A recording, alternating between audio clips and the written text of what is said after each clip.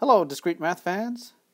Let's prove that P implies Q or R is logically equivalent to P and, not R, implies Q.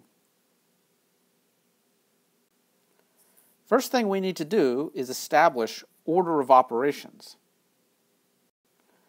When we write something like P implies Q or R, what do we mean? Do we mean P implies Q in parentheses or R?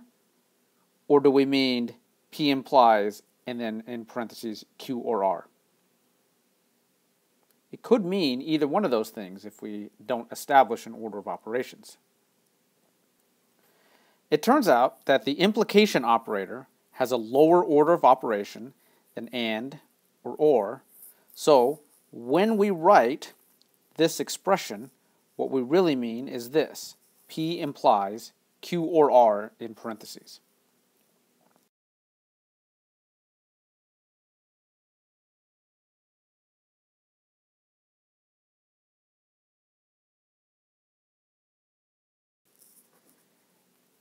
Now, as usual, in order to prove this logical equivalence, we're going to use a truth table.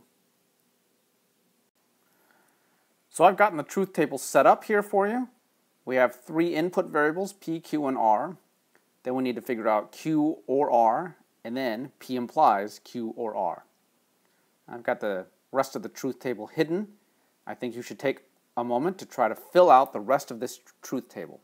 Go ahead, pause the video, work it out for yourself, write out what these two columns in the truth table would be. When you're ready, unpause the video and come back and check your work. All right, if you've drawn your truth table out, should look something like this. Go ahead and double check that everything matches with what you expect.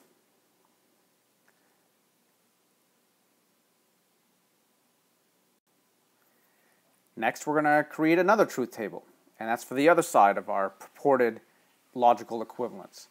And here are the ingredients that I think you're going to have to create.